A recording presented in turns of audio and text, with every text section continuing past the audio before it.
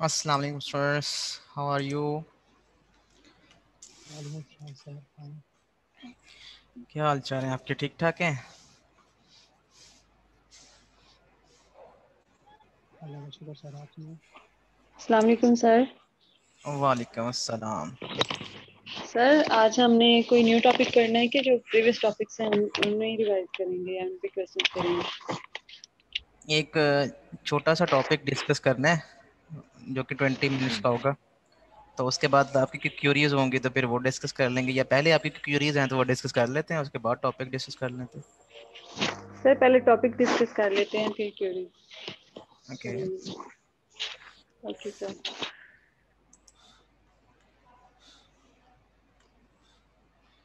Okay, so welcome to the lecture. Uh, I hope you are doing well. Uh, अभी तक जो हमने discuss किए हैं, वो सब के सब जो है ना, हमने डिस्कस किया अबाउट रेगुलर लैंग्वेजेस ठीक है? सो रेगुलर लैंग्वेजेस जो हैं, वो कौन सी होती हैं?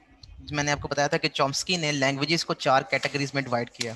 तो जो पहली कैटेगरी है, वो है regular languages so all languages for which we can made D F A तो हम, उसको हम रेगुलर लैंग्वेज कह सकते हैं, ठीक है? For all language for which we can make regular expression so those languages uh, are called regular languages okay means for every regular language there is exist an equivalent dfa to to accept or reject the words belongs to that language okay तो अगर आपके पास कोई language है ठीक है L और आप उसको आप उसको बताना चाह रहे हैं कि is this language L is regular इस चीज़ का आंसर कैसे पता चलेगा? जी स्टूडेंट्स एक लैंग्वेज आपको दे दी जाए और आपसे पूछा जाएगा क्या ये लैंग्वेज रेगुलर है या नहीं है तो क्या करेंगे आप? कैसे प्रूफ करेंगे आप? सर उसके लिए डीएफए बनाएँगे। डीएफए बनाएँगे ठीक है राइट आपने उसके लिए डीएफए बनाया ठीक है. आपको मैंने एक लैंग्वेज दे दी लैंग्वेज है ए एन बी एन ठीक है. आपने उसके लिए डीएफए बनाया तो डीएफए आपसे बन नहीं रहा। तो आप कह देंगे कि ये रेगुलर नहीं है। अगर डीएफ अगर डीएफए नहीं बन रहा तो ऑफ़ कोर्स इसको कह देना चाहिए कि तो अगर डीएफए नहीं बन बन रहा तो कह देना चाहिए कि ये लैंग्वेज जो है ये नॉन रेगुलर लैंग्वेज है। ठीक है? लेकिन अगर मैं मेरे से वैसे ही डीएफए नहीं बनता मैं इतना कैपेबल नहीं हूँ मेरे पास इतना स्किल्स या नॉलेज नहीं है कि मेरे पास डीएफए जो है मैं नालायक सा स्टूडेंट हूँ और मैं- मेरे से डीएफए नहीं बनता एक आम सी लैंग्वेज का तो मैं कैसे कह सकता हूँ कि इसका डीएफए सर नहीं हूँ? लिहाजा ये रेगुलर लैंग्वेज नहीं है। सो so, इसका मतलब ये है कि there should a proper mathematical formula mathematical proof of concept जिससे हम ये प्रूव कर सकें कि कौन सी लैंग्वेज जो है वो रेगुलर है कौन सी रेगुलर नहीं है। तो वो कौन सा there exist proof of concept ठीक है? हमारे पास एक ऐसा मैकेनिज्म एग्जिस्ट करता है जिसके थ्रू हम डिटरमिन कर सकते हैं कि कौन सी लैंग्वेज जो है वो रेगुलर है या नहीं है।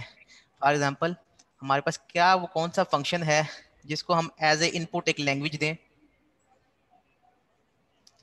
और ये बता दे, ये फ़ंक्शन जो है उसके ऊपर प्रोसेसिंग करे। प्रोसेसिंग करने के बाद वो आउटपुट कर दे कि इज़ इज़ इट रेगुलर इसका आंसर बस करे वो। यहाँ पे यस और नो आ जाए। तो आउटपुट हम उसको एक लैंग्वेज करें, वो उसके ऊपर प्रोसेसिंग परफॉर्म करे और यस और नो आउटपुट कर दे। तो यस का मतलब होगा कि ये लैंग्वेज जो है वो रेगुलर है और नो का मतलब ये है कि ये लैंग्वेज जो है वो नॉन रेगुलर है, ठीक है? तो अगर कोई लैंग्वेज नॉन रेगुलर है, इसका मतलब क्या है? इसका मतलब ये है कि अगर एक नॉन रेगुलर लैंग्वेज है तो ये कैसे, ये फ़ंक्शन क्या है? ये अभी हम डिस्कस करते हैं। लेकिन नॉन रेगुलर लैंग्वेज का मतलब क्या है? नॉन रेगुलर लैंग्वेज का मतलब ये है कि डीएफए नहीं बन सकता। जब डीएफए नहीं बनेगा आरई भी नहीं बनेगा टीजी भी नहीं बनेगा, ठीक है एंड सो ऑन सो फिर उस लैंग्वेज के लिए ऐसी कोई एग्जांपल है जो कि नॉन रेगुलर है? Yes there is a language which is called A N B N इसके लिए आप जितनी मर्ज़ी कोशिश कर लें, आपसे डी एफ़ ए नहीं बनेगा, ना आर ई बनेगा टी जी बनेगा, कुछ भी नहीं बनेगा आपसे। ये नॉन क्योंकि ये नॉन रेगुलर लैंग्वेज है। तो अगर ये नॉन रेगुलर लैंग्वेज है, जिसमें वर्ड्स जो हैं कुछ इस तरह से हैं कि जितने एज आएँगे, उतने ही बीज आएँगे और एज जो है वो स्टार्ट में आएँगे और बीज जो है वो बाद में आएँगे। अगर थ्री एज आते हैं तो थ्री बीज आएँगे। अगर फोर एज आते हैं, ठीक है तो फोर बीज आएँगे और वो बाद में आएँगे कंजेक्टिव आएँगे, ठीक है? तो ऐसे सारे के सारे वर्ड्स इस लैंग्वेज से बिलोंग करते हैं। तो इसके लिए आप जितनी मर्ज़ी ट्राई कर लें, आपसे DFA नहीं बनेगा आर ई नहीं बनेगा टीजी नहीं बनेगा। तो इसका मतलब क्या है? इसका मतलब फिर ये है कि हमारे पास वो मैथमेटिकल मॉडल ही नहीं है, जो कि नॉन रेगुलर लैंग्वेज को एक्सेप्ट कर सके या रिजेक्ट कर सके। मीन्स अगर हम ये इनपुट दें तो वो एक्सेप्ट करे, ये इनपुट दें एक्सेप्ट करे। अगर ये वाली इनपुट दें ट्रिपल ए फोर बीस तो वो रिजेक्ट करे इसको, इस वर्ड को। तो इस तरह की जो, इस तरह का जो मैकेनिज्म है इस, इसका मतलब है कि ये जो मैथमेटिकल मॉडल हैं, ये जो ऐसी लैंग्वेज को एक्सेप्ट करेंगे वो इन मैथमेटिकल मॉडल से ज़्यादा पावरफुल होंगे, जो कि डी एफ़ ए है आर ई है टी जी है, इन, ये हम पढ़ चुके हैं। तो हम आगे जाके देखेंगे कि there is another model which is called context free grammar जिसको हम सी एफ़ जी कहते हैं। तो सी एफ़ जी एक और मॉडल है, इसको हम मैथमेटिकल इसकी प्रॉपर्टीज़ को डिफाइन भी करेंगे इंट्रोड्यूस करवाएँगे आपको, और फिर हम बताएँगे कि ये जो लैंग्वेज ये जो लैंग्वेज है, ये ये वाला मॉडल जो है, वो एक्सेप्ट करता है। मींस जो वर्ड्स इस लैंग्वेज से बिलोंग करते हैं वो ये एक्सेप्ट करेगा। और जो वर्ड्स इस लैंग्वेज से बिलोंग नहीं करते वो ये रिजेक्ट करेगा। तो this is more powerful than this R E regular expression D F A इन सबसे ये पावर इनसे इनसे पावरफुल होगा। ठीक है? सो so, इसका मतलब ये है कि हम अभी मैथमेटिकल और भी मॉडल्स हैं कंप्यूटेशनल मॉडल्स हैं जो कि हमें और लर्न करने की ज़रूरत है और लैंग्वेजेस को देखने की ज़रूरत है जो कि जिसमें ये मॉडल्स जो हैं वो फेल हो जाते हैं, ठीक है? तो इसका मतलब है कि there exist some other models as well तो उन मॉडल्स को हमने डिस्कस करना है। लेकिन वो मॉडल्स हम बाद में डिस्कस करेंगे कि क्या पहले ये तो प्रूव करना पड़ेगा ना कि ये लैंग्वेज जो है वो नॉन रेगुलर है। तो फिर हम उस मॉडल के ऊपर जाएँगे, ठीक है? तो इसके लिए क्या चीज़ है? इसके लिए ये फ़ंक्शन क्या फ़ंक्शन है? इस फ़ंक्शन का नाम है pumping lemma pumping lemma pumping lemma is is a proof of concept जो कि आपको बताता है कि ये लैंग्वेज जो है वो रेगुलर है या नहीं है। मींस तो ये फ़ंक्शन जो है किस तरह से बिहेव करता है इसके कौन कौन से स्टेप्स हैं जिसको फॉलो करते हुए एक लैंग्वेज को हम बताएँगे कि ये रेगुलर है या नॉन रेगुलर है। तो लेट्स डिस्कस इट्स स्टेप्स तो स्टूडेंट्स आपको क्लियर है कि पंपिंग लेमा क्यों यूज़ करते हैं? यस yes, सर क्यों यूज़ करते हैं? सर, ये पता करने के लिए सर, वो रेगुलर लैंग्वेज है या नहीं है? हाँ किसी भी लैंग्वेज को वेरीफाई करने के लिए कि वो लैंग्वेज जो है, वो रेगुलर है या नॉन रेगुलर है, उसके लिए हम पंपिंग लेमा यूज़ करते हैं, ठीक है? तो पंपिंग लेमा क्या है? Let's discuss let's formally define pumping lemma तो स्लाइड्स में भी गिवन है, लेकिन मैं आपको ये एक वेबसाइट से पढ़ा रहा हूँ गीक्स फॉर गिक्स तो ये अच्छी वेबसाइट है, यहाँ से आप हर तरह के ट्यूटोरियल्स जो हैं वो यहाँ से देख सकते हैं। तो पंपिंग लेमा जो है, ये थ्योरी ऑफ़ कंप्यूटेशन जो है, ये बेसिकली एडवांस कोर्स है थ्योरी ऑफ़ ऑटोमेटा का। तो ये एमएस के एम का कोर्स है, ये इसका पोस्ट रेक्विजिट है। तो ये एम में पढ़ाया जाता है ये वाला कोर्स तो ये पंपिंग लेमा ऑब्वियसली उस कोर्स का भी पार्ट है, ठीक है? सो पंपिंग लेमा क्या कहता है? पंपिंग लेमा जो है वो फॉर रेगुलर लैंग्वेजेस और भी लैंग्वेजेस की टाइप्स हैं, उसके लिए भी पंपिंग लेमा होता है, लेकिन वो पंपिंग लेमा जो है, वो और डिफरेंट तरह का हो जाएगा। तो ये जो पंपिंग लेमा है, ये रेगुलर लैंग्वेजेस के लिए पंपिंग लेमा है तो ये पंपिंग लेमा क्या कहता है? इसको अपने गौर से देखना है, ठीक है? पहली ये तीन चीज़ें अपने गौर से, ये बस तीन स्टेप्स देखने हैं इसके। For any language regular language L there exist N integer N कहता है कि किसी भी लैंग्वेज रेगुलर लैंग्वेज एल के लिए एक इंटीजर एग्जिस्ट करता है एन एन कुछ भी हो सकता है such that all X belongs to W means जितने भी जितने भी वर्ड्स जो हैं, जो इस लैंग्वेज से बिलोंग करते हैं या उन, उनकी बात कर रहा है, उसको हर वर्ड को वो एक्स कह रहा है कि all words belongs to this language जो वर्ड्स इस बिलोंग इस लैंग्वेज से बिलोंग करेंगे, ठीक है, उसकी लेंथ जो है, उन वर्ड्स उन सारे वर्ड्स की लेंथ जो है ये इन, इस एन से ग्रेटर देन इक्वल टू होनी चाहिए। तो आपने एन एक ऐसा नंबर लेना है, ठीक है, कि जितने भी वर्ड इस लैंग्वेज से बिलोंग करते हैं एन जो वेरिएबल है, उसकी लेंथ जो है, वो इससे छोटी होनी चाहिए। मीन्स कोई भी वर्ड लें for example A double A double B लिया तो उसकी लेंथ है हमारे पास फोर ठीक है? तो एन जो है, वो फोर से लेस या इक्वल होगा ओके तो एन जो है, वो थ्री भी ले सकते हैं टू भी ले सकते हैं फोर भी ले सकते हैं। तो ये आप वो इनिशियली डिफाइन कर रहा है कि किसी भी लैंग्वेज एल के लिए एक नंबर एग्जिस्ट करता है और सारे के सारे वर्ड्स जो इस लैंग्वेज से बिलोंग करते हैं, उन सब की लेंथ जो है, ये इस नंबर से ग्रेटर होनी चाहिए। ये कंडीशन है, ये प्री कंडीशन है। ठीक है, ये प्रूफ ऑफ़ कॉन्सेप्ट बना रहा है तो ये ये प्री कंडीशन है। ठीक है, ये एजम्पशन है। There exist U V W belongs to sigma star sigma से रिलेटेड कोई भी आप, आपके पास करेक्टर्स हैं ठीक है? तो जो एक्स होगा आप उसको तीन पार्ट्स में इस तरह से डिवाइड कर सकते हैं। तो मैं आपको दोबारा से इसको समझाने की कोशिश करता हूँ ठीक है? कि कहना क्या चाह रहा है? वो कहना ये चाह रहा है कि जिस लैंग्वेज को आपने प्रूव करना है कि वो रेगुलर है आपने अज्यूम करना है कि जो भी लैंग्वेज है आपने उसको रेगुलर कंसीडर करना है। Consider consider consume there exist regular language उसको आपने इनिशियली रेगुलर ही कंसीडर करना है, ठीक है? रेगुलर लैंग्वेज एल एल ठीक है? And assume that there exists a regular language, L, and a number, n, such that all डब्ल्यूज W के है सारे के सारे वर्ड्स जो इस लैंग्वेज से बिलोंग करते हैं। Such that all डब्ल्यूज belong to L must be must be कह सकते हैं कि आपको must be ensure this condition condition कौन सी है? जो कि जो W है, W की लेंथ जो है, वो लेस देन इक्वल टू और sorry greater than equal to n होगी। तो ये कंडीशन जो है, इसको इंश्योर ये एजम्पशन है हमारी कि आपके पास कोई भी लैंग्वेज L है और एक नंबर n है, वो अन नंबर जो है, वो n जो है, वो सारे के सारे जो W's हैं, वो किसी कोई भी W ले लें आप जो कि इस लैंग्वेज से बिलोंग करता है, उसकी लेंथ से एन की वैल्यू जो है, वो छोटी होनी चाहिए या बराबर होनी चाहिए, ये एजम्पशन है हमारी। इसके अलावा there exist U V W belongs to sigma belongs to sigma star क्या है? सिग्मा फॉर एग्जांपल वो करेक्टर्स हैं जिससे हम लैंग्वेज जो है हमारी बिलोंग करती है। तो फॉर एग्जांपल सिग्मा हमारे पास ए बी है और लैंग्वेज है हमारे पास ए एन बी एन तो हम इस लैंग्वेज को प्रूव करते हैं कि ये लैंग्वेज जो है ए एन बी एन जो लैंग्वेज है, ये रेगुलर है या नहीं है। इसको हम प्रूव करते हैं। तो इसमें आप देख सकते हो कि ए जो है, वो हमारे पास अल्फ़ाबेट से बिलोंग करता है और बी जो है, वो भी अल्फ़ाबेट सेट से बिलोंग करता है। तो कहता है कि आप जो भी डब्ल्यू लेंगे एन आप कोई भी नंबर ले सकते हो। जो भी डब्ल्यू लेंगे, आप जो इस लैंग्वेज से बिलोंग करेगा, उसकी लेंथ एन से ग्रेटर या इक्वल होनी चाहिए।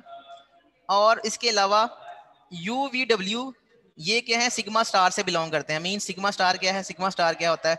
सिग्मा स्टार ये है, जिसमें आप ए प्लस बी स्टार ले लें तो इसका मतलब है कि इसमें ऑल पॉसिबल स्ट्रिंग्स होंगे, ठीक है?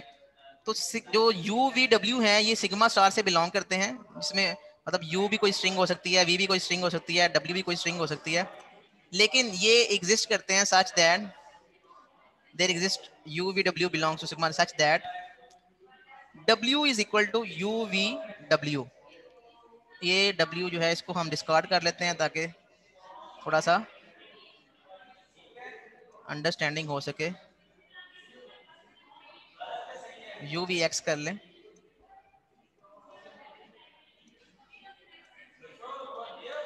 ओके तो यू वी एक्स हमारे पास इस तरह से वर्ड्स जो हैं, वो बिलोंग करते हैं कि आप डब्ल्यू को तीन पार्ट्स में डिवाइड कर सकते हैं।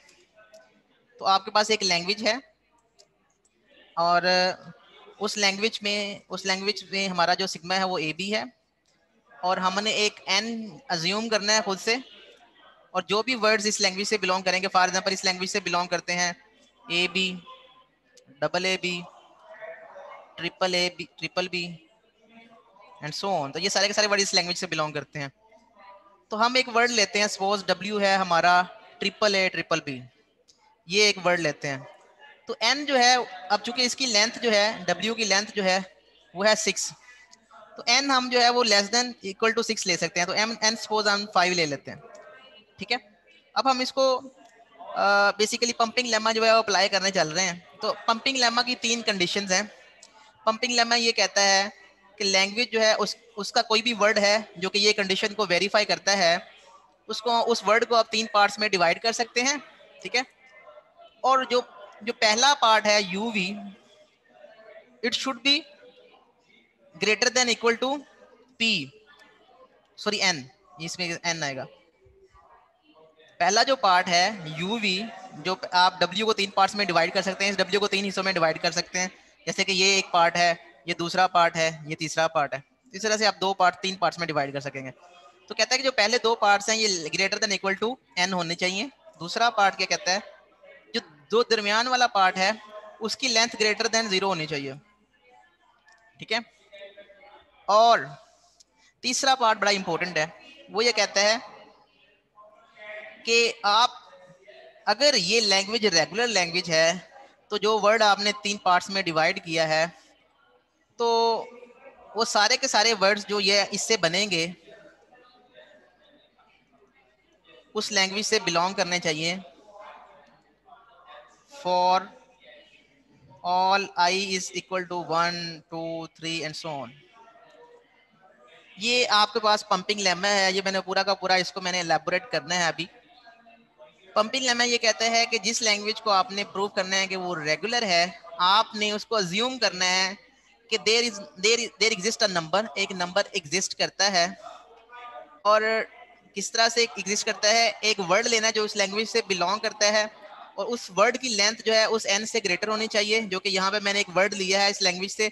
मैं इस लैंग्वेज को प्रूव करना चाहता हूँ कि ये रेगुलर है या नहीं है। तो मैंने एक वर्ड लिया है तो मैं यहाँ पे अज्यूम कर रहा हूँ। Assume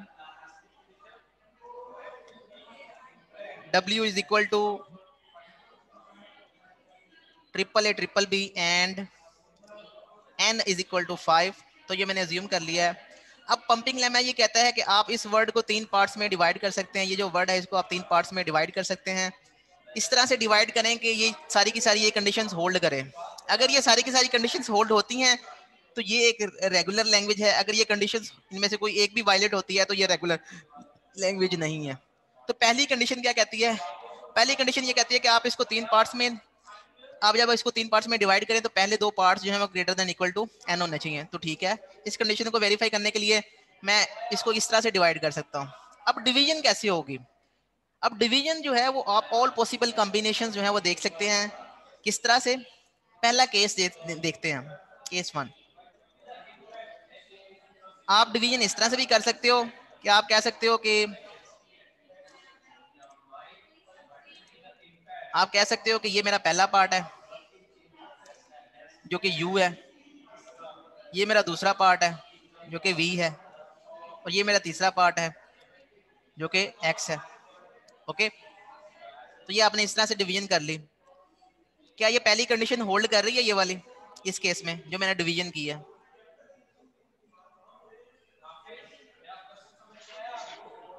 यस सर कर रही है। श्योर u डॉट v की लेंथ क्या है? u की लेंथ क्या है? U की लेंथ है u में दो करेक्टर्स हैं। u में दो करेक्टर्स हैं। और v में कितने करेक्टर्स हैं? V में एक करेक्टर है। तो लेंथ कितनी हुई? लेंथ हुई थ्री n की वैल्यू क्या है? N की वैल्यू है फाइव क्या three greater than equal to five होता है? नहीं. तो ये तो कंडीशन होल्ड ही नहीं कर रही। तो अगर ये कैसे पता चला? U में इतने करेक्टर्स और v में इतने करेक्टर ये आपने खुद ही करना है।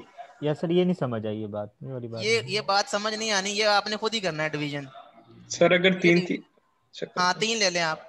आप तीन ले लें इसको आप यू कर लें तीन तीन एज को इसको आप यू कर लें। इसको आप वी मतलब कर लें। किस क्राइटेरिया पे हमने यू और वी मतलब कि हमारे पास जो डब्ल्यू दिया है उसमें हमने यू और वी के अभी बताते हैं आप। अभी आपको बताते हैं। यू ले लिया आपने थ्री करेक्टर्स वी ले लिया आपने टू टू बीस और एक्स आपने ले लिया वन बी इस तरह से आपने W को तीन पार्ट्स में डिवाइड कर दिया। अब क्या पहली कंडीशन होल्ड करती है? क्वेश्चन अभी क्वेश्चन होल्ड पे रखें अभी। क्वेश्चन अभी अभी नहीं करना अभी आपको समझ नहीं आई तो जब तक आप समझ आ जाएगी तो फिर आप क्वेश्चन करिएगा। बहुत सारे क्वेश्चन आपके रिजोल्व हो जाएँगे। सर करती है अभी तो।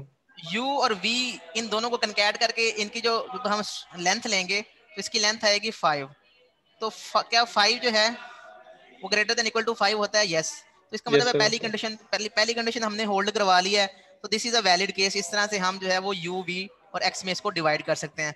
तो हमारा u क्या है? u हमारा है ट्रिपल ए v हमारा जो है वो डबल बी है और एक्स हमारा बी है खाली। तो पहले केस में हमने w को कुछ इस तरह से डिवाइड किया, ठीक है? केस वन में कि u इसके इक्वल है, ये इसके इक्वल है where w is equal to u v x okay? तो हमने बता दिया कि u क्या है v क्या है, हमारा और x क्या है, ठीक है? इस तरह से आपने डिवाइड कर दिया। क्या दूसरी कंडीशन होल्ड करती है? सेकंड कंडीशन ये है कि जो आपके पास v, v की लेंथ है वो greater than equal to zero होनी चाहिए। तो यहाँ पे आपकी इसकी लेंथ जो है टू है तो ये भी कंडीशन होल्ड करती है ठीक है?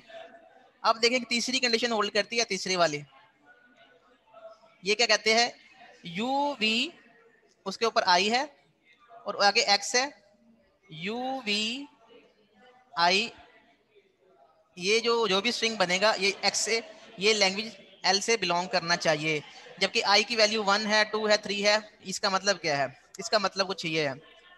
इसका मतलब ये है कि आप यू स्टार्ट में रख लें और वी को आप रिपीट करें। वी को ये हो जाएगी वी को आप रिपीट करें वी की वैल्यू आप वी को कब आप एक दफ़ा रिपीट करें दो दफ़ा रिपीट करें तीन दफ़ा रिपीट करें जितनी दफ़ा मर्ज़ी रिपीट करें। जो वर्ड्स नए बन रहे हैं वो इस लैंग्वेज से बिलोंग करने चाहिए। अगर ये लैंग्वेज जो है वो रेगुलर लैंग्वेज है। अगर ये लैंग्वेज रेगुलर लैंग्वेज है तो तीसरी ये वाली कंडीशन होल्ड करनी चाहिए। तो हम देखते हैं इसकी कंडीशन होल्ड करते है कि नहीं करते। हम इसको एक दफ़ा तो पहले ही रिपीट कर चुके हैं। हम इसको दो दफ़ा हमेशा रिपीट किया करेंगे। जब इसको दो दफ़ा रिपीट करें और उसके बाद हम एक्स लगा दें। एक्स हमारे पास बी है। सॉरी गलती होगी ये वी हमारे पास क्या है? है। डबल वी है। इसको हमने दो दफ़ा रिपीट करना है। आगे हमारे पास एक्स जो है, वो बी है। तो मीन्स हमारे पास जो u v टू और x है वो इसके इक्वल है। इस केस में आप इसको रिपीट करें टू टाइम्स तो क्या आएँगे? ट्रिपल ए डबल बी एक दफ़ा फिर डबल बी एक दफ़ा। तो दो दफ़ा हमने इसको रिपीट कर दिया फिर ये वाला बी ये ठीक है? तो इसको हमने जब दो दफ़ा रिपीट किया तो हमारे पास ये फोर बीज बन गए। क्या ये वर्ड जो है वो लैंग्वेज से बिलोंग करता है? न्यू वर्ड ये वाला। नो no, सर ये लैंग्वेज से हैं। बी ज़्यादा हो। तो इसका मतलब ये है कि ये लैंग्वेज रेगुलर नहीं है। करता सर। सर? सर हमने कैसे देखना है कि ये लैंग्वेज से बिलोंग कर रहा है कि नहीं? यस सर ये भी बताएँ। आपने आपने जो भी लैंग्वेज जिसको वेरीफाई करना है आपको लैंग्वेज दी गई है। तो सबसे पहले आपको सिर्फ़ ये बताया गया था। ये क्वेश्चन इसमें आपको लैंग्वेज दी गई थी सिग्मा दिया गया था। और आपसे पूछा गया था कि क्या ये रेगुलर है कि नहीं है? ठीक है? आपने क्या करना है? उस लैंग्वेज के कुछ वर्ड्स लिख लेने हैं। लिख लिया आपने पहला स्टेप फिर आपने कोई एक वर्ड लेना है डब्ल्यू जिसको आप डब्ल्यू कह रहे हैं। आपने डब्ल्यू ले लिया, कोई एक वर्ड ले लिया आपने। आपने ट्रिपल ए ले लिया ट्रिपल बी ले लिया। ये वर्ड जो है, इस लैंग्वेज से बिलोंग करता है। अब आपने एन जो लेना है, आपने एक नंबर लेना है, उस वो वैल्यू जो है एन की वैल्यू इसकी लेंथ से छोटी होनी चाहिए या बराबर होनी चाहिए। तो इसकी लेंथ अगर सिक्स है तो मैंने इस डब्ल्यू की लेंथ जो है, अगर सिक्स है तो मैंने एन की एन की वैल्यू जो है, वो फाइव ले लिया जो कि इस कंडीशन को होल्ड कर रही है। ठीक है? तो आपने सबसे पहले क्या करना है, उस लैंग्वेज का वर्ड लेना है। उस वर्ड के अकॉर्डिंगली आपने एन की वैल्यू ले लेनी है, ठीक है? और एन की वैल्यू लेके फिर आपने इस कंडीशन को वेरीफाई करना है। अगर ये कंडीशन वेरीफाई हो जाती है तो ठीक है आपने आगे चले जाना है। अगले स्टेप में आपने ये करना है तो जो वर्ड आपने लिया है ये वाला वर्ड उसको अपने तीन पार्ट्स में डिवाइड करना है। किस तरह से ये आपने बात समझ नहीं आई। हम वर्ड भी खुद ही लेंगे उसके उसकी लेंथ भी खुद ही सेट करेंगे फिर एन की वैल्यू भी हम लोग खुद ही सेट करेंगे। यस सर ये बताएँ। मैं यही तो कह रहा हम लोग खुद ही प्रूव कर देंगे उससे और खुदा के बंदे मैं यही कह रहा हूँ कि वर्ड आपने खुद से नहीं बनाना। उस लैंग्वेज से जो बिलोंग करता होगा वर्ड वो उठाना है आपने। कोई एक वर्ड उठा लें। आप ले आप उठा लें। डबल ए डबल वी उठा लें। कोई वर्ड उठा लें आप। सर सिलेक्ट तो हम अपनी मर्ज़ी से ही कर रहे हैं। हाँ आप अपनी मर्ज़ी से कर रहे हैं लेकिन उसी उस लैंग्वेज का वर्ड सेलेक्ट कर रहे हैं। ये नहीं है कि उस लैंग्वेज से बिलोंग नहीं कर रहा। उस वर्ड वो वर्ड उस लैंग्वेज से बिलोंग करना चाहिए। आप कोई भी वर्ड ले सकते हैं। आपने कोई एक वर्ड ले लिया। उस वर्ड को फिर आपने अगर आ दिया कि ये डब्ल्यू है। इसकी लेंथ क्या है? डब्ल्यू की लेंथ क्या है? फोर तो आपने एन लेना है, कोई भी जो कि less than equal to four होना चाहिए। आपने एन की वैल्यू ले ली थ्री आप टू भी ले सकते हैं, आप वन भी ले सकते हैं। तो प्रूफ हो जाएगा डजेंट मैटर ठीक है? आप स्टेप्स समझने की कोशिश करें। आप इंटरेक्ट पाथ पे जा रहे हैं। अभी स्टेप्स समझने की कोशिश करें। उसके बाद आप अपने मुताबिक इसको मोल्ड करेंगे तो आपका प्रूफ ऑफ़ कॉन्सेप्ट सबका सेम ही आएगा। अगर एक लैंग्वेज जो है, वो एक स्टूडेंट कह रहा है कि ये नॉन रेगुलर है तो दूसरा स्टूडेंट भी कहेगा ये नॉन रेगुलर है।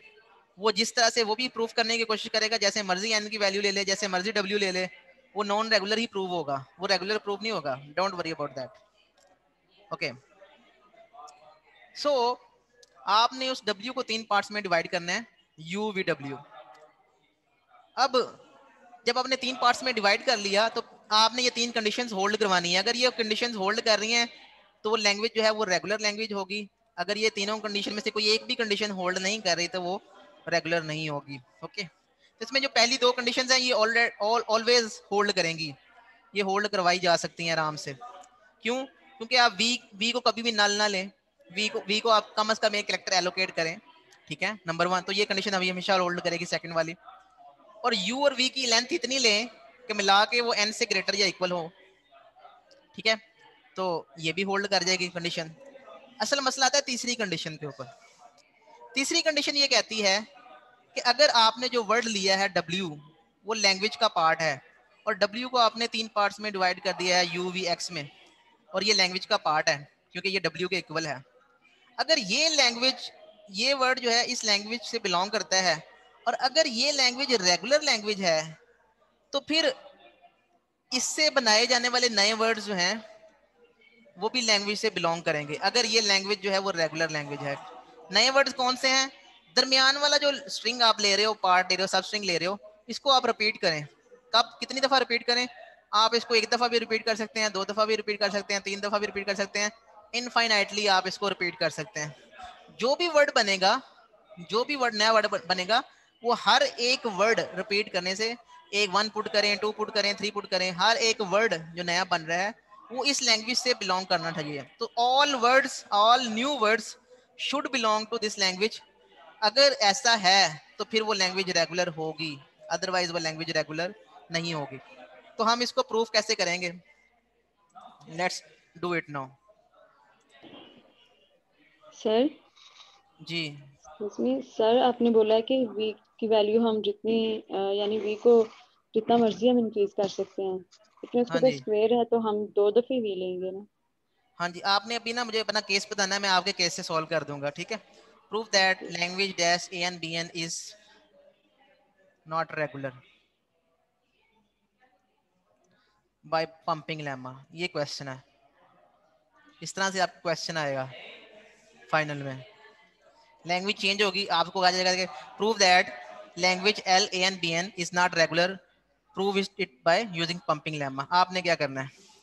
आपने कहना है let language L is equal to a n b n and W is equal to A triple A triple B. ये एक मैंने वर्ड ले लिया. And n is equal to अगर इसकी लेंथ सिक्स है तो मैं एन जो है वो फोर ले सकता हूँ, मैं फोर ले लिया.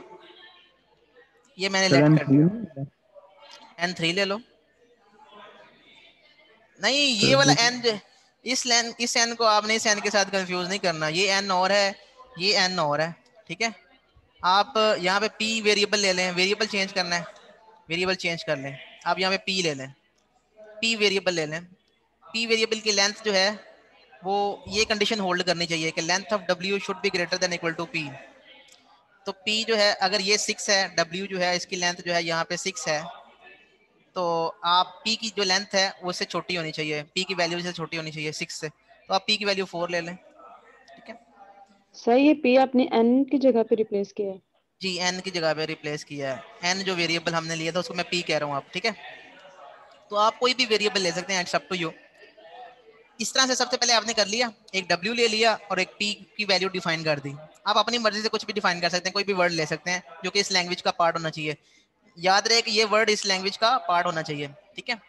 अब आपने क्या करना है? According to pumping lemma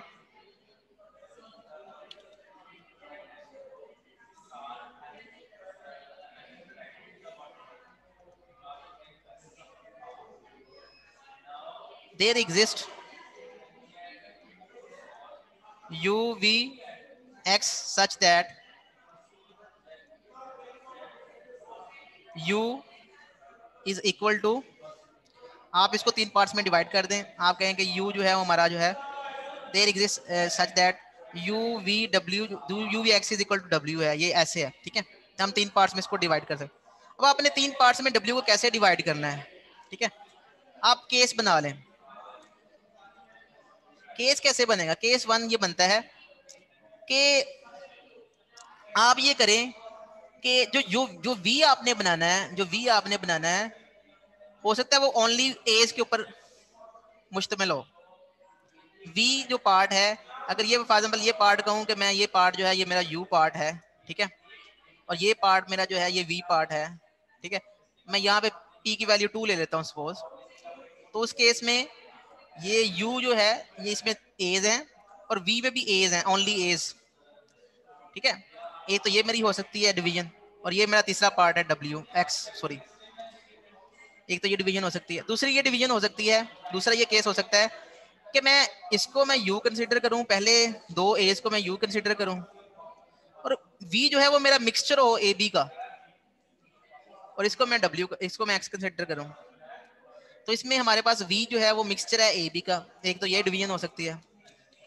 या फिर इसको मैं u कंसिडर करूँ और इसको मैं वी कंसिडर करूँ और इसको मैं डब्ल्यू कंसिडर करूँ वी ओनली कंटेन्स बीज तो मेरे पास एक्सेल में तीन तीन केसेस बन रहे हैं, कुछ इस तरह से कि u is equal to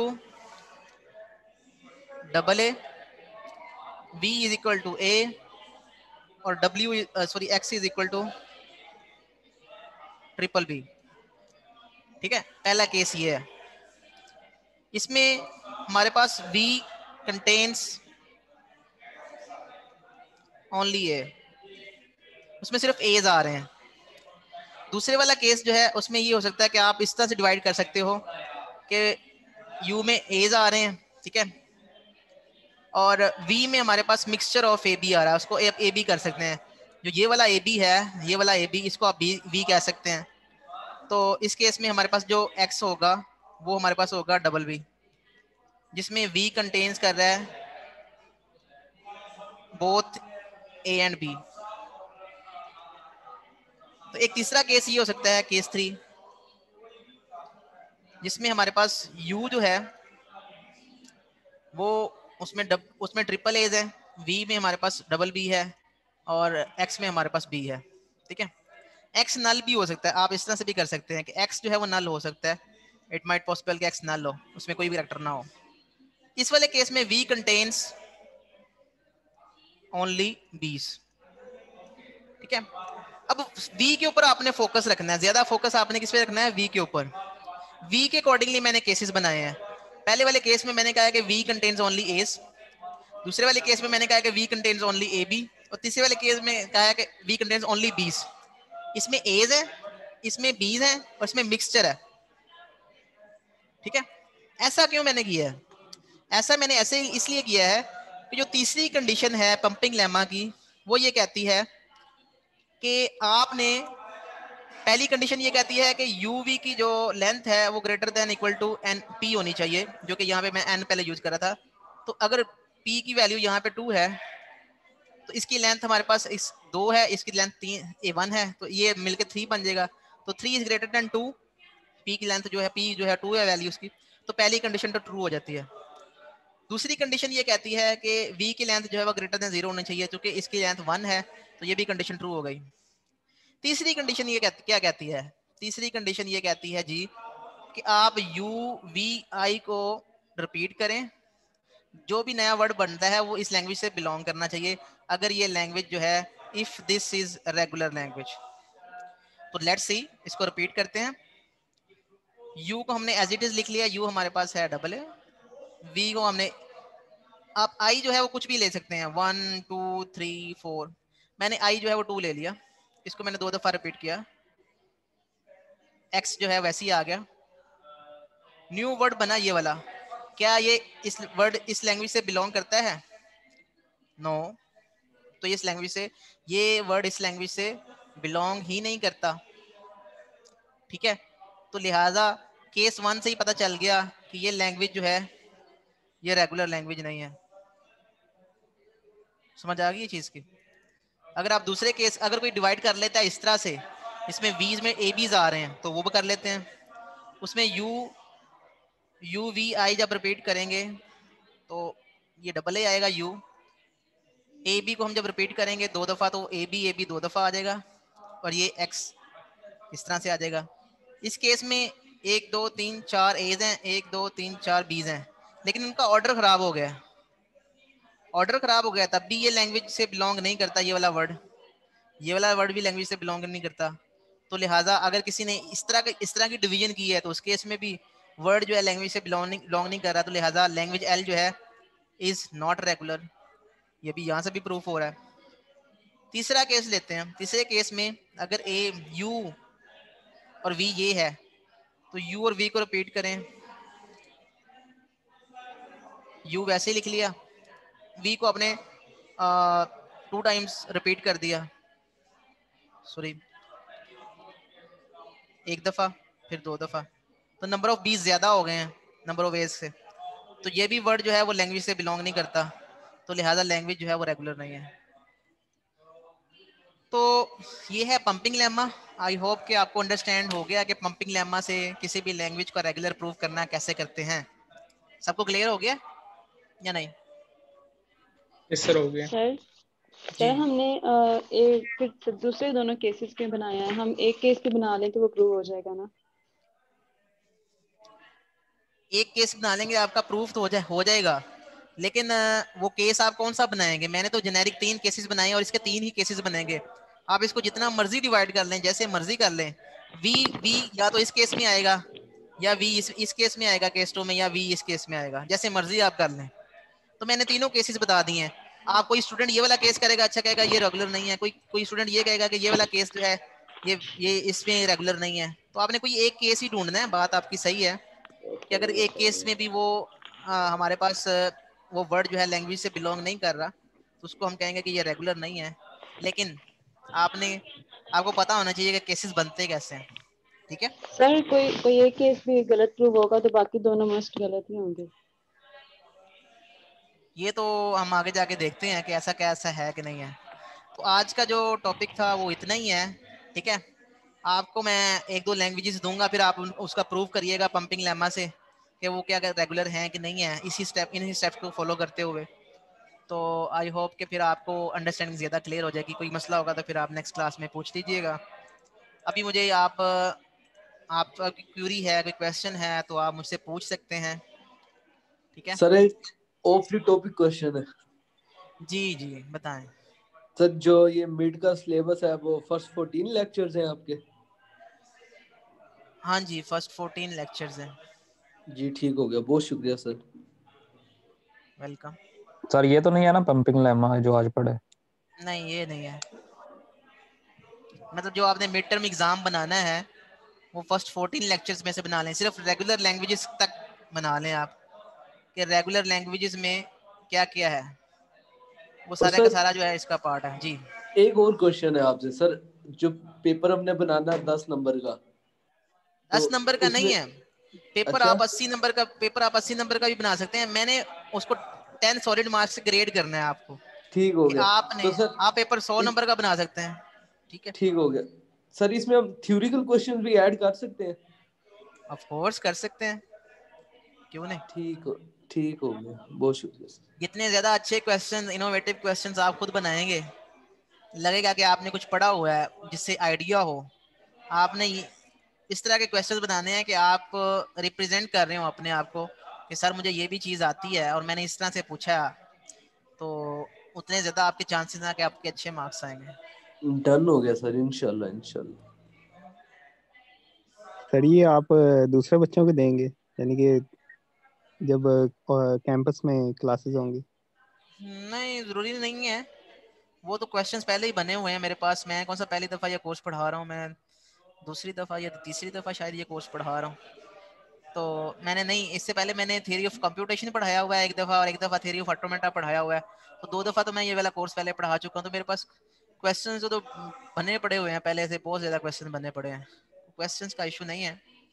लेकिन जस्ट आपके लिए एक लर्निंग होगी कि पेपर बनाते हुए कितना टाइम लगता है, उसको सेट करने में कितनी डिफिकल्टी होती है। अगर आपको कुछ आता नहीं है तो पेपर बनाना भी एक टास्क होता है। ठीक है? ये तभी फील होगा जब आप खुद बनाएँगे। पेपर आप बुक निकाल लें और स्लाइड्स निकाल लें वीडियो लेक्चर्स निकाल लें, फिर आप खुद से पेपर सोचेंगे कि कौन सा क्वेश्चन होना चाहिए। तो हर, ये नहीं है कि एक ही टॉपिक में से आपने सारे क्वेश्चन बना दिए हैं। उससे ये आइडिया होगा कि आपको सिर्फ़ एक टॉपिक आता है। तो अगर आप ज़्यादा से ज़्यादा टॉपिक्स कवर करके कम से कम क्वेश्चन सेट करते हैं अच्छे से तो that is your ability skills कि आपको कुछ आता है। उससे ये कितने क्वेश्चन होने लगाया जा? दो चार क्वेश्चन ऐसे भी होना चाहिए जिससे बंदा पास हो जाए। यही तो मैं कह रहा हूँ कि आप यही तो आपकी स्किल है कि आपने जस्टिफाई करना है कि एग्ज़ाम ऐसा होना चाहिए। इसमें ये भी चीज़ मैंने रखी है ये भी चीज़ रखी है मैंने टफ क्वेश्चंस भी रखे हैं मैंने इजी क्वेश्चंस भी रखे हैं मैंने एवरेज क्वेश्चंस भी रखे हैं और इस तरह के क्वेश्चंस भी होने चाहिए ये स्टूडेंट्स को पास करवाने में हेल्प करते हैं। इस तरह के क्वेश्चन भी होने चाहिए ये स्टूडेंट्स को एवेल्यूएट करने के लिए कि कौन सा स्टूडेंट ज़्यादा बेटर है, कौन सा जिसने तैयारी नहीं की उसके उसके उसमें नंबर नहीं आने चाहिए ताकि ग्रेडिंग हो सके स्टूडेंट्स की, ऊपर नीचे शफलिंग हो सके। ये नहीं है कि सबको एक एक ही ग्रेड देना है ए ग्रेड देना है सबको। तो ऐसा पेपर होगा तो फिर वो, उसमें आपके ऑब्वियसली आपकी जो एक्सपेक्टेशन है, उसके अकॉर्डिंगली आपको भी दस में से दस नहीं मिलेंगे। ठीक है? अरे कितने नंबर का पेपर बनाना है? इट्स अप टू यू पचास का बना लो साठ का बना लो चालीस का बना लो सौ का बना लो। सर वैसे दस नंबर मिड के लिए बहुत कम ही है थोड़े से अगर आप इंक्रीज कर दें एब्सोल्यूट नहीं वो बेसिकली असल में मिड टर्म उन्होंने इतना ज़्यादा उसको किया नहीं है कि मिड टर्म आपने लेना है ऑप्शनल उन्होंने कर दिया है। तो इसी वजह से मैं मिड टर्म आपसे लिया भी नहीं है उस तरह से। तो आपको मैंने ये एक असाइनमेंट दी है और इसके इतने ही नंबर होने चाहिए। एक वीक का टास्क है ये। हम सोलह वीक पढ़ते हैं। सोलह वीक में अगर हम एक वीक में हम कह दें कि इसके नंबर जो हैं वो पचास हैं। बाकी जो पंद्रह वीक्स के जो नंबर हैं वो भी पचास हैं तो ये थोड़ा सा अनफेयर है हाईली अनफेयर है। तो इसको इस तरह से मैं नहीं कर सकता। इसके जितने मार्क्स हैं अगर अगर हम वीक्स वाइज वीक वाइज देखें तो सोलह वीक्स हैं। और सौ नंबर को हम सोलह पे डिवाइड करें तो ये ऑलमोस्ट जो है वो सेवन पॉइंट समथिंग आता है। ठीक है? तो इसके सात नंबर बनते हैं एक वीक के। तो मैं आपको दस दे रहा हूँ ठीक है? तो ये उससे ज़्यादा ही है। बिल्कुल सर ये वैलिड पॉइंट है आपका। ओके तो कोई क्वेश्चन है तो पूछ लें वरना फिर रेस्ट करें आप। अटेंडेंस मार्क कर लेते अटेंडेंस मार्क कर लेते हैं। सर लास्ट डेट क्या है इसकी? मंडे है। मैंने असाइनमेंट क्रिएट कर दी थी। संडे है कि मंडे है? I don't know sir Sunday तक आपने रखा हुआ है। हाँ जी। चलिए उसको मंडे तक मैं कर दूँगा। Yes sir thank you sir thank you हाँ। सर हाँ लेकिन करनी तो आपने मंडे को ही है ना फिर आखिरी दिन पे ही करनी है ना? सर करते ही सर। ऐसा ही है सर वो आपको पता तो है सर मिड चल रहे हैं। नहीं नहीं मिड ना भी चलें तो। सर फिर आप भी तो हमारी एज से गुजरे हुए हैं। तुम तुम फिर टीचर बन जाओगे? अगर मैं टीचर बन गया हूँ तो। तो सर की तो प्रायोरिटीज सर ये तो अल्लाह ही सर सर ये तो अल्लाह ही बेहतर जानता है। नहीं सर की ना। टॉप सर की टॉप प्रायोरिटी में पढ़ाई थी। तुम्हारा कितना जीपीए है? प्रायोरिटी में और चीज़ सीजीपीए कितना है तुम्हारा? सर 2.91 तो मेरा तो 3.57 था। तुम मेरे से कंपेयर कर रहे हो तो फिर 3.57 लेके दिखाओ। तो सर दे लेवल ਦਾ आदमी नहीं छोड़िया हाँ सर आपकी क्या ही बात है। चुप करके बैठ। आप तो फिर ग्रेट है ना। ग्रेड की बात नहीं है। आप ये कह रहे हैं कि हमने भी ऐसे किया था। आपको पता है कि हमने ऐसे किया था? आपको मैं बताऊँ अगर अगर आप अगर आप सुनना ही चाहते हैं मैं आपको बताता हूँ। सीरियसली मैं आपको सीरियस बात बताता हूँ। कभी Okay, भी sir. किसी टीचर के पास कभी भी किसी टीचर के पास मैं नहीं मेरे जो क्लास फेलोज हैं या जो मेरा ग्रुप था उसमें से कोई भी बंदा कभी भी टीचर के पास नहीं गया कि सर ये फलां जगह पे असाइनमेंट में इतना नंबर लगे हुए हैं क्विज में इतने लगे मेरे इतने बनते हैं। कई दफ़ा ऐसा होता था कि हम असाइनमेंट सबमिट करवाते थे, हमारे मार्क्स नहीं लगते थे सम हो हमने कभी भी बोदर नहीं किया कि असाइनमेंट से मार्क्स नहीं लगे. ज़ीरो लगे रहे हैं तो लगे रहे हैं. कई दफ़ा ऐसा हुआ है कि हमारी पी यू में ये पॉलिसी होती थी कि अगर एक सॉलिड नंबर से एट दी एंड अगर आपका ग्रेड चेंज हो रहा है तो टीचर उसको उसको करना है टीचर ने उसको चेंज करना है. Teacher teacher have to do उसने एक एक्स्ट्रा नंबर देना है ग्रेड चेंज करना है. क्योंकि वहाँ पे स्टूडेंट का जो राइट है तो कई दफ़ा ऐसा होता था कि उस एक नंबर से पॉइंट फाइव से ग्रेड चेंज हो रहा होता था किसी सब्जेक्ट में लेकिन उसके लिए भी नहीं गए हम और टीचर ने भी नहीं किया। हालाँकि वो हमारा राइट था। तो सर फिर आपके जी कैसे कैसे? सर यूएमटी में भी ऐसा नहीं हुआ। यूएमटी में भी टीचर ने नहीं तो- किया। हाँ? एक बंदा क्वेश्चन करे समझ नहीं आ रही किसी के भी। आपका नहीं यार शांत कर देते हैं टीचर इस तरह तो रहना करो सर मैं कह रहा हूँ कि यूएमटी में भी मैम है उन्होंने भी एक नंबर से नहीं किया। मैं एक मैं एग्जांपल दे रहा हूँ कि हम कभी टीचर्स के पास नहीं गए ग्रेड्स लेने के लिए और इसके अलावा इस तरह से ग्रेड्स चेंज हो रहे थे, हम कभी उनके पास नहीं गए। तो आप हमारी बात करते हैं कि हम भी अपने दौर में ऐसे रहे हैं तो हम ऐसे नहीं रहे, हम साथ साथ पढ़ते भी थे, ठीक है? ये नहीं है कि हमने लेक्चर देखा नहीं है और हम उठ के आ गए हुए हैं। नेक्स्ट डे वे टीचर जो है पूछते थे हाँ भाई, ये क्वेश्चन है किसी ने सॉल्व किया है इसको? आंस क्लास में क्वेश्चनिंग आंसरिंग होती थी। अगर एट द एंड किसी ने ये टीचर ने पूरा एक समझाया एक एक पूरा टॉपिक और एट द एंड उसने एक, ऐसा क्वेश्चन पूछ लिया है जो कि सबका कंक्लूजन है पूरे टॉपिक का। तो अगर किसी ने उसका आंसर दिया है तो टीचर ने उसको अप्रिशिएट किया है और उस टीचर के माइंड में एक चीज़ बैठ जाती है आपको शायद आइडिया ना हो कि आप में से जब कोई एक पूरे टॉपिक में से अगर एक कोई क्वेश्चन होता है तो कोई क्वेश्चन अगर आप वैलिड क्वेश्चन पूछते हैं तो टीचर जो है ना उसके माइंड में स्टूडेंट का नाम जो है वो आ जाता है। अनइंटेंशनली आ जाता है। और टीचर हमेशा अच्छे और बुरे स्टूडेंट्स जो है ना टीचर को याद रहते हैं। ये मेरी बात याद रखे। जो एवरेज स्टूडेंट्स हैं ना, वो नहीं याद रहते। और एवरेज स्टूडेंट मेजोरिटी होती है। अच्छे स्टूडेंट्स होते हैं पाँच, और बुरे स्टूडेंट भी पाँच ही होते हैं, जो बहुत ही बुरे होते हैं। ठीक है? तो वो याद रहते हैं, क्योंकि वो क्लास में और बाद में चक्कर लगाते हैं। टीचर के पास सर जी पास कर दो, सर जी पास कर दो। तो वो एक, उस वजह से वो याद हो जाते हैं। और, जो अच्छे अच्छे स्टूडेंट्स होते हैं, वो वैसे ही टीचर के माइंड में होते हैं अच्छा ये आंसर करने हैं उनका माइंड उनका नेम जो है वो याद हो जाता है। ठीक है? तो द थिंग इज़ कि आप आपका जो काम है ना वो है पढ़ना। कंपैरिजन ना करें। अगर आप कंपेयर करेंगे ना फिर सारी की सारी दुनिया अगर वो मतलब अ, क्या कहते हैं कहते हैं कुएँ में छलांग लगा देती तो आप भी लगा देंगे। आप तब नहीं लगाएँगे। तब आप नहीं कहेंगे देखो जी सबने कुएँ में छलांग लगा दी मैंने नहीं लगाई। तब तो आप कंपेयर बिल्कुल भी नहीं करेंगे। सर किसी एक ना वो बड़ी समझदार बंदे ने बात की थी उसने कहा था comparison is not the motivation hmm. ये अब देखना मोटिवेशन मैं नहीं होती। मैंने मैंने अगर मैं बात करें ना मैं क्रिकेट भी बहुत देखी है। अब मैं कंपैरिजन करूँ कि जब ये अगर पिछले क्रिकेटर्स जो 2010 तक खेलते रहे हैं जिस पिछले जो हमारे पास पूरा 10 इयर्स का टेन्योर था डिकेड था उस डिकेड में कौन से अच्छे प्लेयर्स थे? जैसे तेंदुलकर है पोंटिंग है, ठीक है, इंजमामुल हक है, मोहम्मद यूसुफ है, वो पीछे वो खेलते रहे हैं। अब उनको हम किस तरह से कंपेयर कर सकते हैं आज के प्लेयर्स के साथ? पिछले प्लेयर्स जो हैं वो मतलब सौ बड़ी मुश्किल से बनाते थे। क्यों? क्योंकि बॉलर्स भी इतने अच्छे होते थे और विकेट्स शायद उस तरह से नहीं थी, होती थी। ग्रासी विकेट्स होती थी। तो 250 स्कोर कर लेता था जो वो जीत जाता था। आज आज आपने देखा इंडिया और ऑस्ट्रेलिया का मैच हो रहा है ठीक है? तीन सौ पचानवे स्कोर बन रहा है। ऑस्ट्रेलिया ने तीन सौ थ्री नाइनटी वन स्कोर बनाया। अब इंडिया जो है वो थ्री थ्री एटी फाइव पे आउट हो रहा है। तो आप देखें कि स्कोरिंग जो है हाउ यू कैन कंपेयर के आज का जो प्लेयर कोहली है वो तेंदुलकर से अच्छा है। कैसे आप कंपेयर कर सकते हैं कोहली को तेंदुलकर के साथ? वो एक डिफरेंट एरा में खेला है डिफरेंट बॉलर्स के साथ खेला है डिफरेंट पिचेस जबकि उनके साथ खेला है। आज का जो डोमेन है वो बिल्कुल डिफरेंट है डिफरेंट चैलेंजेस हैं। तो आपको डिफरेंट चैलेंजेस आएँगे। जैसे हमने जॉब्स गेट कर ली हैं आप आपको शायद इस तरह का मौका ना मिले। ठीक है? आ, मैं आपको बताता हूँ कि अर्ली 2006 में जब आ, 2007 की बात है जब मैंने ज्वाइन किया था पी को बैचलर्स प्रोग्राम तो उस वक्त मैंने सुना था सीनियर से कि कंपनीज़ वाले कहते थे कि लैपटॉप भी अपना लेके आओ कंप्यूटर भी अपना लेके आओ और सैलरी सुलरी भूल जाओ। पहले साल तो हमने कुछ भी नहीं देना, दूसरे साल देखेंगे। तो उस वक्त ये सिचुएशन थे। जब हम ग्रेजुएट हुए, मैंने मास्टर्स किया 2014 में मैंने जॉब स्टार्ट की।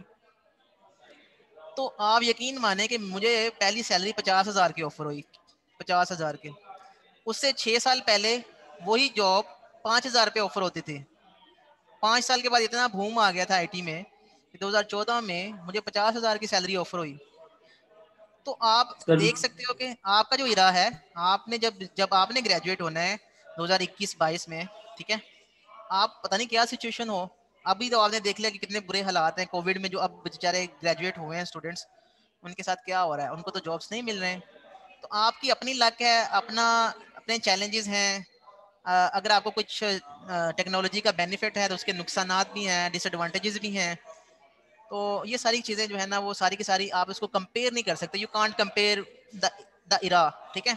पहले लोग और तरह से रहते थे अब लोग और तरह से रहते हैं। आपने शायद हाँ अब अब आप कोई बात करना चाहते हैं तो आप कर सकते हैं मैंने अपनी बात कंप्लीट बिल्कुल सर मैं यही कहना चाहता हूँ वक्त के साथ अपॉर्चुनिटीज़ और आपकी जो रिक्वायरमेंट्स Challenges हैं हाँ, चैलेंजेस फ्लक्चुएट करते हैं एक जैसे हैं एग्जैक्टली तो आगे नई जो आने वाली नस्ल है, उसको पता नहीं क्या चैलेंज होगा। उसको डिफरेंट चैलेंजेस होंगे। अब ये तो अल्लाह ताला बेहतर जानता है, या आहिस्ता आहिस्ता वक्त आएगा कि उनको क्या चैलेंज फेस होता है। पहले ज़माने में, अब देखें ना 2003 के बाद ये आईटी सेक्टर में भी बूम आया टेलीकॉम में भी बूम आया। उससे पहले शायद भी किसी के पास 2000 से पहले मैं, मुझे नहीं याद कि किसी के पास मेरी फैमिली में मोबाइल फ़ोन था। तो तो आप उसके पास, उस जब उस उस वक्त उस वक्त किसी के पास सेल फ़ोन होता था तो समझा जाता था कि बड़ा राइस है। और हम, मुझे याद है कि हम पीसीओ पे जाते थे, दो रुपये तीन रुपये दे के, चार रुपये दे के कॉल करते थे एक छोटी सी। तो अब सिचुएशन जो है, आप देख लें बच्चे बच्चे के पास सेल फ़ोन है इजी एक्सेस है। आराम से वो कॉल कर सकता है, पूरा पूरा दिन कॉल कर सकता है विदाउट हैविंग एनी हेजिटेशन तो अब उसके नुकसान डिसएडवांटेजेस क्या हैं, वो बेचारा सारा का सारा दिन जो है, वो मोबाइल के ऊपर लगा रहता है।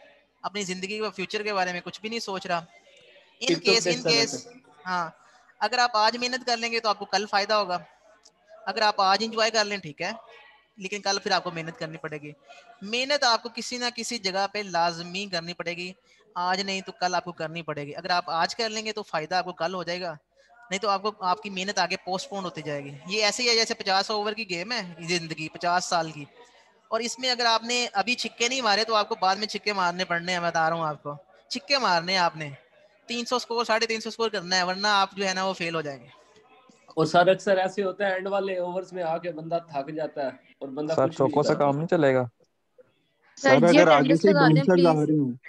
यार सर टाइम अगर बहुत आगे कम होता है। से बाउंसर आ रहे चौकों से नहीं जब आप अटेंडेंस अपॉर्चुनिटी सबकी को ही करते। अटेंडेंस सबकी हो गई है जिसने लीव करना है वो लीव कर दे। सर बड़ा मज़ा आ रहा था आपसे बात कर बातें करके बड़ा मतलब ना अच्छा। हम्म। कंफर्टेबल मैं समझ रहा हूँ। हारिस मैं समझ रहा हूँ आपकी हम्म। ठीक है हारिस भाई। ठीक है हरीश अभी चले कोई नहीं यार मैं सर से वैसे काउंसलिंग हो है सर से मोटिवेशनल लेक्चर ले लूँगा कोई इशू नहीं है हम्म। का जी सैयद इसको इकबाल आप करते हैं ना हम जाते हैं। सैयद इसको अपने पास बिठा लें। बिठा लेंगे इंशाल्लाह आप फ़िक्र ना करें जब ये वापस आएगा ना कोविड के बाद तो बिठा लेंगे इसको। सर मैं आपके पास ही हूँ। अच्छा अभी तो नहीं हो। सर मैं जोड़ रहा हूँ सर आपने हुक्म करना है आपके दिल में भी हूँ। नहीं सर मैं आँख कहना ओझल चाह रहा मैं वो आपने मुहावरा सुना है ना आँख आँख ओझल पहाड़ ओझल वो मुहावरा तो बिल्कुल सुना ही है। बिल्कुल सर। यस सर सुना। हाँ जी तो आप आँख लेकिन दूर है सर आप लेकिन इसका सर मतलब आप यही कि आप शावर में बैठे हुए हैं। जी। लेकिन सर आप जिधर भी हो आप हमेशा हमारे करीब हैं क्योंकि आप हमारे दिलों में रहते हैं। वाह। नाइस लाइन क्या बात है क्या बात है। ये टॉपिक जा मुँह में सर ये कहीं और रहा है पता नहीं अब तुम आजकल हम सच भी नहीं बोलते। जो लोग दिलों में रहते हैं ना तो दुनिया के किसी भी कोने पे होते हैं ना तो कहीं उसको ठोकर लगती है तो सीधी दिल पे लगती है। बिल्कुल दूसरे बंदे को दूसरे सर बंदे को दूसरे बंदे को पता चल वो मीलों दूर होता है उसके दिल को समझ आ रही होती है पता चल रहा होता है कि यार कुछ ना कुछ गड़बड़ है सर ये रूह का ताल्लुक होता है। रूह के अच्छा। रास्ते होते हैं। ये हारिस समझ सकता है हारिस का ना वो क्या कहता हूँ मैं वो फटा हुआ ब्रेकअप है। ब्रेकअप ब्रेकअप हुआ हुआ है इसका। यस सर ये समझ सकते तो पाँच छह हुए मैं इसको ये तो बहुत दुख है। सही है। लेकिन दुख पहली दफ़ा ही होता है कि पहली दफ़ा बच्चे को पता नहीं ना होता। सर तो जी आप भी बड़ी गहरी बातें कर रहे हैं आज। हाँ तो सर सर आपको भी लगता हो गया? नहीं नहीं देखें सर अपना एक्सपीरियंस ज़िंदगी शेयर कर रहे हैं। ज़िंदगी में ना हर काम कभी ना कभी पहली दफ़ा ही होता है ना। ऐसे तो नहीं होता है कि आप पहले ही सीख सिखा के आए हो ऐसा तो ये इस बात ज़िंदगी में आपने लर्न करना है ना आपने आहिस्ता आहिस्ता सीखना है। आपने कभी आपने आपको पता नहीं होगा कि ट्रस्ट क्या होता है। तो कभी आपका जो सक, एक ऐसा दोस्त जिसके ऊपर आप बड़ा मान था आपको एकदम से आपको धोखा दे देगा। तो आपको फील होगा ओ हो दुनिया में तो धोखा भी होता है। तो आपको सर ऐसे ऐसे चीज़ें लर्न सर जी मुझे हुआ है मुझे पहले ये हारिस ने कज़न बनाया उसके बाद कज़न से हटा दिया मर्ज़ी है Yes, कज़न तब बनाता है जब उसको काम होता है मेरे से। जब काम नहीं होता फिर याद भी नहीं करता मैं। यकीन करें जो मेरे साथ धोखा सर जो मेरे साथ धोखा हो गया ना उसके बाद हम्म। यकीन करे अंदरूनी तौर पे बंदा टूट जाता है मुकम्मल तौर पे। और बैरूनी तौर पे बंदा खुश रहता है और हाँ वही सबसे बड़ा दुख होता है।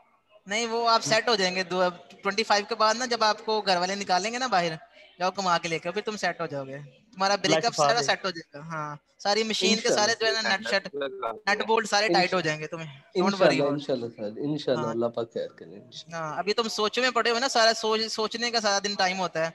फिर वो मतलब वही चीज़ सोचता है जिसका मतलब वो आ, वो कैशे मेमोरी का पता है ना कैशे?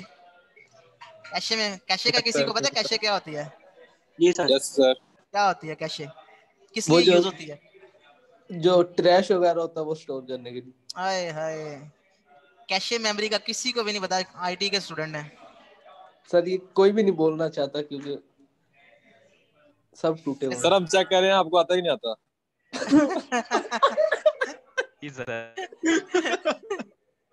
सही है। मुझे चेक करते रहना इसका तुम्हें क्या फ़ायदा होगा? मैं तो ये चेक कर रहा हूँ कि आपको भी आता है कि नहीं आता। तो सर नॉलेज में कैश इजाफा होगा। कैशे मेमोरी जो है ना एक तो रैम होती है जिसको हम रैंडम एक्सेस मेमोरी कहते हैं जो मेन मेमोरी होती है हमारी। जितने भी प्रोसेस होते हैं हमारे रैम में जाके लोड होते हैं। जितना भी डेटा होता है हमारा रैम में लोड होता है। लेकिन जो डेटा बार बार यूज़ हो रहा होता है ना अब रैम जो है ना वो सीपीयू से अलग होती है। में आया था मुझे पता था। तो मोस्ट रिसेंट डेटा जो बार बार मोस्ट फ्रीक्वेंट डेटा होता है ना जो बार बार यूज़ हो रहा होता है वो कैशे में आ जाता है। और कैशे जो है ना वो सीपीयू के बिल्कुल पास होती है। तो उसको एक्सेस करना उसके लिए ज़्यादा इजी होता है और वो स्पीडीली उसको एक्सेस कर सकता है। अगर रैम ने उसको हमारे कैशे में डाटा वो होता है जो हमें छोड़ के Exactly. चले गए हैं उनकी याद एग्जैक्टली तो तुम्हारे हाँ तुम्हारी कैशे में ना जो डेटा बड़ा हुआ है ना वो भी लोकल रिसेंट डेटा बड़ा हुआ है। तो जब तुम्हें इधर उधर से ठोकरें लगेंगी ना तो माइंड में ठोकरें आएँगी जब दोबारा। वो लोड हो जाएँगी ठोकरें तो फिर तुम्हें जो है ना ये चीज़ें भूल जाओगे तुम डोंट वरी बिलीव मी नहीं सर इंशाल्लाह ज़िंदगी की मुरम्मत चल रही है तूफ़ान लेकर ही उठेंगे। हरी साहब कहाँ से क्लासेस लेते हैं? आप पहले आप ये बताओ। क्या चीज़ संदीप ईश्वरी को सुनता है। मैं वो हारिस को कह रहा हूँ कि कहाँ से क्लासेस लेता है उठाने के। ये ये कुदरत है। कुदरत का निज़ाम है। आपको लिटरली लिटरली हारिस बहुत बहुत अच्छे उठाता है मज़ाक के अलावा। और मैंने सर से मैंने सर से क्या हैवी पिकिंग अप मतलब है। सर दो ना अभी उठवा के महीने बाद सर देखिएगा किधर चले जाना मैंने किधर चले जाना लेकिन एक चीज़ होती है हाँ देखा सर वही दोबारा शुरू आपने गया। आपने सर नहीं पढ़ा सर उस्ताद यार सर कुछ वही ना ख्याल आपने करो चला जाना है इसने कहाँ चला जाना है? बस एक ग्रेड तक का साथ है ग्रेड तक का। उस्ताद आपका